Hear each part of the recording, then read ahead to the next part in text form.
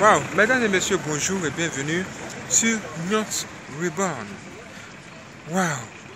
En dessous de cette vidéo, c'est tous abonner. Cliquez là-dessus, abonnez-vous. Activez la cloche pour ne pas manquer la prochaine vidéo. Mais dites-nous, à quoi ressemble Satan? Un homme avec des cornes ou euh, un animal avec des sabots? Waouh moi particulièrement, je n'ai jamais vu le diable.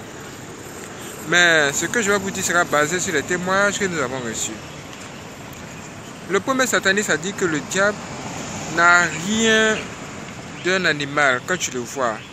En fait, c'est lui au départ, le diable était un ange de lumière, comme l'a dit la parole de Dieu. Et lui, le sataniste, quand il l'a vu dans une réunion satanique, dans le monde des ténèbres, il a découvert que le diable ressemblait à un jeune garçon, un jeune homme de 30 ans, et il, avait, il était très beau. Il était vraiment beau, d'une beauté extraordinaire. Dans un autre témoignage, on nous dit que le diable, une fille qui a visité l'enfer, elle nous dit clairement que le diable, dans le roi, dans le, en enfer, il a un trône et il devient caviar autour. Et lui, il ressemble à quelque chose de vraiment laid. Il a un vêtement blanc, mais avec beaucoup de taches vilaines dessus. Mais à quoi ressemble-t-il finalement? Moi, en regard de toutes ces choses, je peux dire que le diable prend plusieurs formes selon qu'il veut, selon ce qu'il veut faire. S'il veut vous effrayer, il va prendre l'aspect d'un animal, quelque chose de vilain. S'il veut vous séduire, il prendra l'aspect d'une femme, quelque chose de beau pour pouvoir vous séduire. Vous voyez que ça devient un peu compliqué.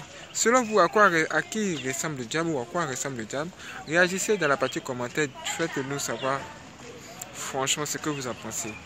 Surtout, n'ayez pas peur, n'ayez pas peur du diable. Foncez vers lui avec le Seigneur Jésus-Christ. C'est pourquoi je vous recommande d'avoir le Seigneur Jésus-Christ aujourd'hui pour vous sauver, pour vous protéger. Car c'est lui ce qui peut vous rendre blanc vous purifier et changer votre vie afin d'être agréable à ses yeux et vous donner le pouvoir pour résister au jour de la tentation quand le diable viendra. Merci d'avoir regardé cette vidéo. Ne surtout pas de vous abonner et d'activer la cloche pour la prochaine vidéo. A bientôt.